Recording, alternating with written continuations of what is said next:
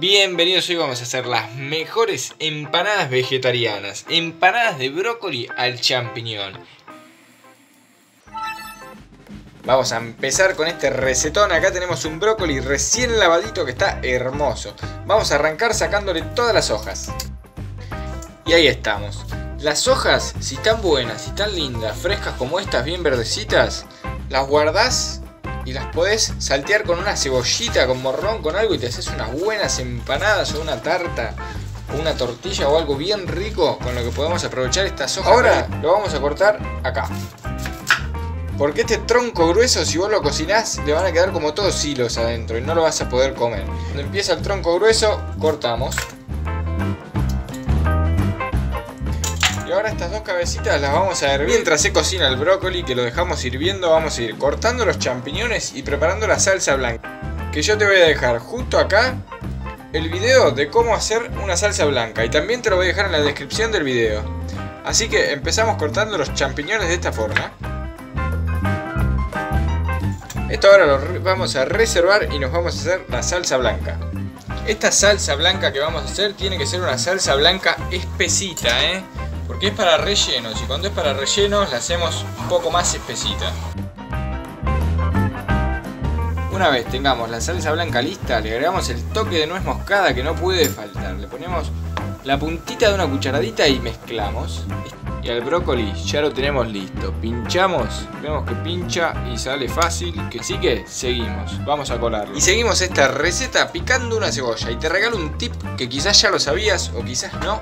¿Cuál es la forma más fácil de pelar una cebolla? Bueno, mirá. Le cortamos una puntita, le cortamos la otra y la cortamos a la mitad. Y ahí le sacamos la cáscara, pero re fácil.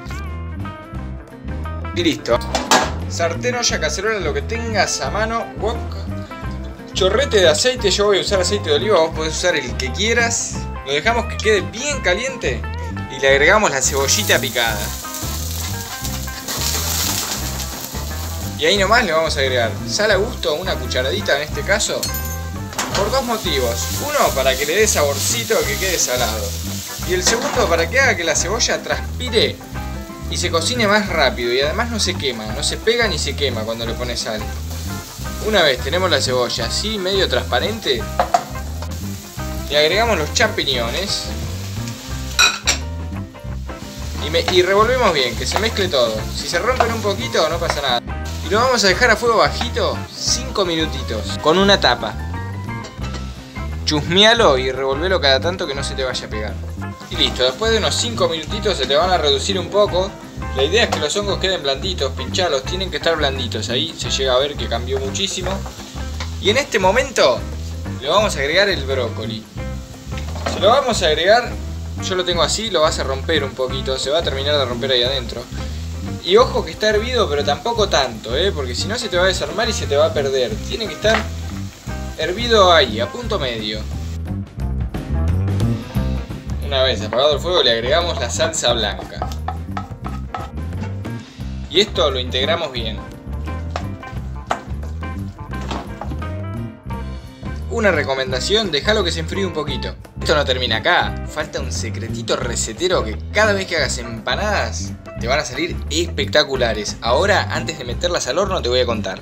Antes de empezar a armar las empanadas, agarramos la placa de horno que vamos a usar, le echamos un chorrete de aceite, un poquito nomás, esparcimos, le echamos un poquito de harina, esparcimos bien por toda la bandeja y retiramos el excedente. Acordate que para empezar a armar las empanadas, el relleno tiene que estar frío, ¿sí?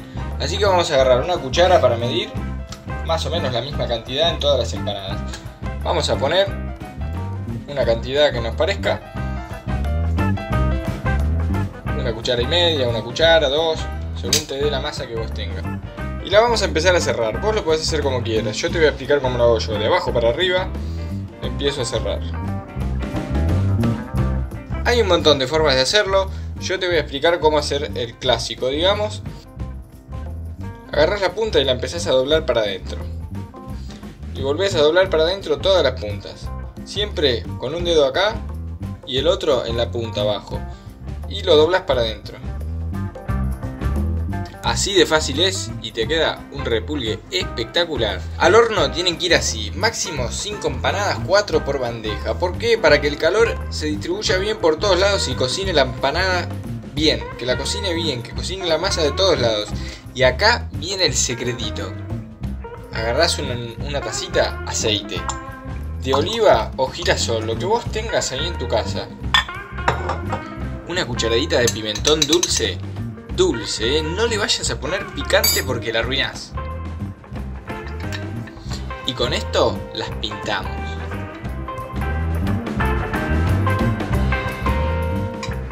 Ahora, horno precalentado hasta que doren y van a ver la magia. Y miren lo que son estas empanadas, miren lo que han quedado, quedan espectaculares, muy muy ricas la verdad.